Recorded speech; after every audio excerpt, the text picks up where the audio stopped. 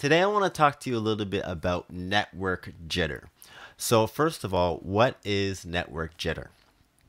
Uh, network jitter is actually data packets being transferred over the internet and a measurement of whether or not these data packets are being transmitted consistently and smoothly. If they're not being transferred consistently, it means you're going to have high jitter.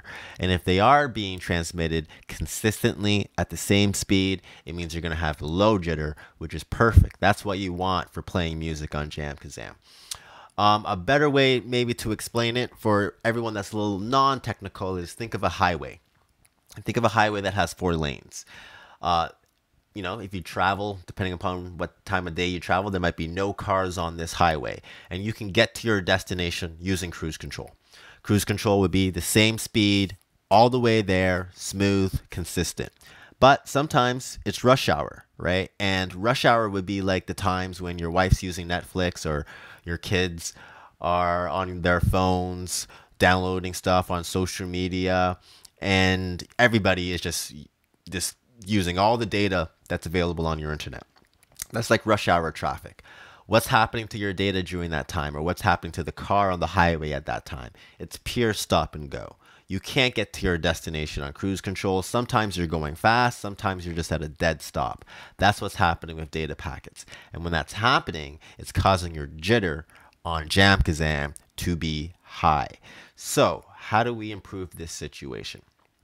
Well, the number one way to improve that situation is actually by using an Ethernet cord. Have that plugged in instead of using Wi Fi, and you're going to dramatically, one, improve your download and uplo- upload speed. And, and two, you're going to really, really reduce any type of jitter that uh, might take place over the internet. So let's take a look at uh, my, my jitter here, my performance here. And right now you can see I'm fluctuating between, uh, well, first of all, this is actually audio face uh, jitter that is taking place. And right now, my stats have me fluctuating anywhere between all greens and yellow, which honestly isn't that bad of a thing for jamming on JamKazam. Um, let's leave this session and let's just randomly jump into another session so I can show you some more stats because the stats that we're looking for are not gear interface, audio interface. What we're looking for is network interface. So to show you that, I'm just going to quickly jump into a session. Let's see if I can quickly jump into this one.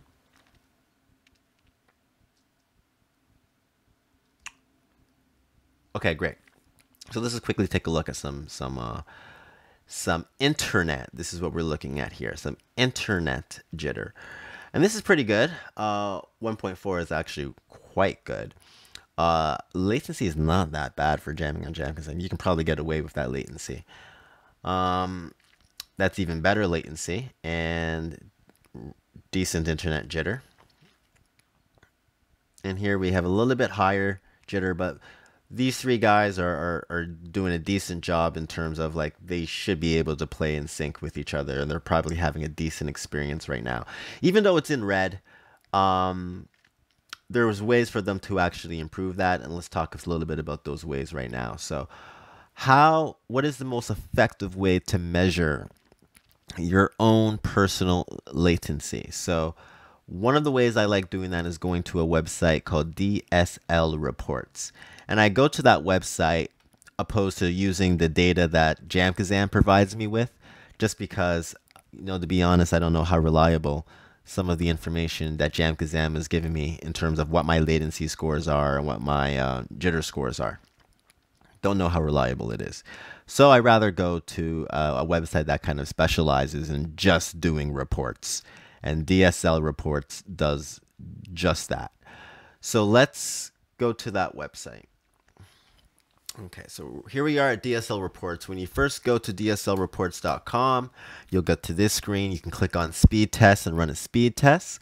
And then you select uh, your internet connection, whether you're on fiber, cable, or DSL. So I am on the fiber connection, so we'll click on that. And it begins to uh, determine which internet server is the closest to me.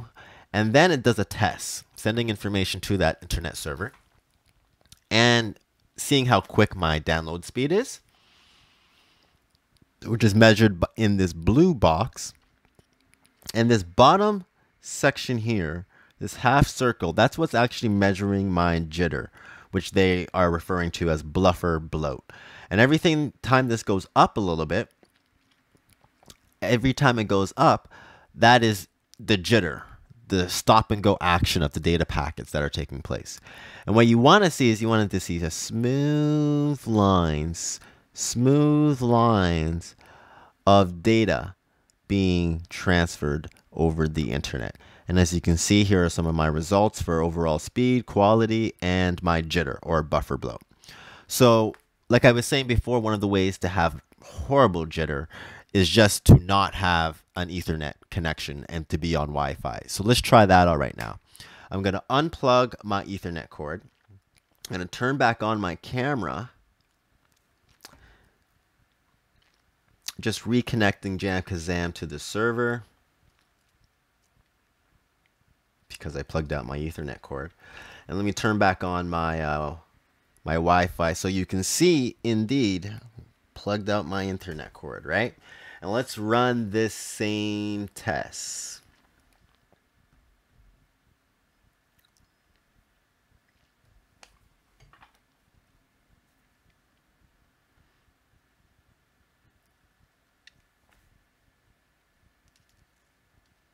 Okay, running the same test and right away you can see you can see the difference. Oh, what did I do there? Oh, don't click on ads. Don't click on ads. No need to click on ads. I'm trying to close it. There we go. Okay. Now let's do that again. Clicking on fiber. Okay. Okay. So right away, as soon as this gets going, there we go. You can see the jitter and the buffer bloat is moving much more than it was previously. So there's a lot of jitter that's taking place, mostly because I do not have my Ethernet cord plugged in. You'll also notice that my download speed is dramatically, dramatically reduced. That's reduced by, that's like almost one tenth of what it was before. And my upload speed also reduced, all because I do not have this plugged in, right? So think about it. I could be getting like 10 times the performance just by plugging this in. And as you can see my results here, a D in terms of buffer and bloat and uh, overall B and overall A. So let's say, let's say for example, you did have this plugged in. And let's say you were using Ethernet, but you still had B's, D's, and A's across the board and you had a poor, anything like uh, worse than an A or a B. Let's say you had a C or a D for buffer bloat. What are some of the ways that you can increase your your network jitter, improve that situation. Well, number one, you can improve your bandwidth, increase your bandwidth, because let's go back to the highway. The more lanes you have on the highway, or the more bandwidth you have, the the the more likely you're going to be able to use your cruise control find a lane and get to your destination at the same speed just because there's more room on the highway same thing with the bandwidth there's more room in your internet so you can actually use more data and people can be on it at the same time and it's not going to affect your internet. So I like there's a section here on DSL reports where they talk a little bit about the speed up download speeds and upload speeds of fiber and the difference between that and cable and the difference between that and DSL. So uh, you can just check out those differences. If you're on DSL, maybe it's time for you to, to get yourself on cable. If you're on cable and you're still experiencing bad buffer bloat, maybe it's time for you to get on a, a fiber connection. If you don't want to spend the money, what else, what else could you do? Well, you could log into your modem and you can start just eliminating devices that exist on your modem. So here I'm logged into mine.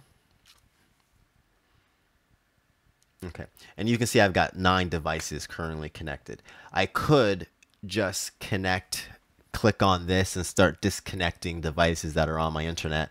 And that would be like in essence removing cars from the highway or removing data packets that are being transferred so that I have enough room to just transmit data packets from my JamKazam session.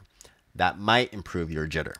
But it might not. What's better and what's most important is you keep this plugged in, your Ethernet cord. That's what's really going to dramatically improve your performance.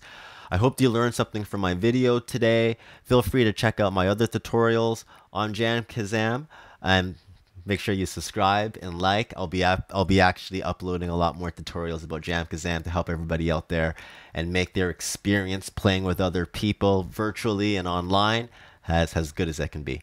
Thanks for watching.